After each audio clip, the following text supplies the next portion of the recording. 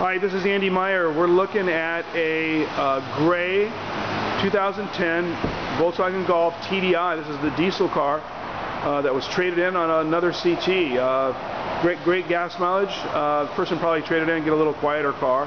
You know, as those CTs are pretty quiet. But uh, this is a great car. You know, over 40 miles per gallon. Uh, it's a local one-owner car. Uh, you know, they quit making the diesels from 2006 to 2010, and they just become available, and they're very rare. Uh, this particular one, 32,000 miles, we're asking 22,995 for it. Again, it's a local car. Let's have a closer look. Again, it's gray with, with the black cloth. It's nice tires, great shape overall. Again, it has the split seat like the Subaru.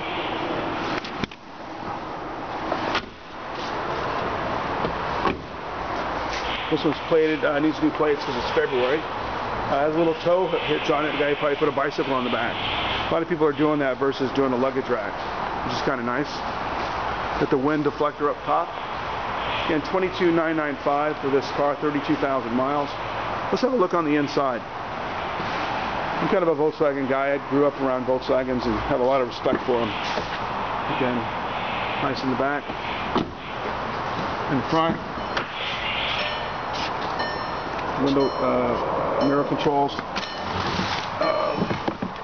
This particular car auxiliary in. It's got AM FM 6 disc it looks like. Uh, 32,023 miles. It's got a moonroof.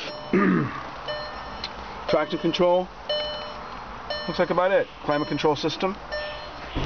Again, this is Andy Meyer from Lexus of Bellevue on this 2010 Volkswagen Golf TDI with 32,043 miles priced at 22,995. Please give me a call at 206-915-8808. Again, 206-915-8808. Thank you.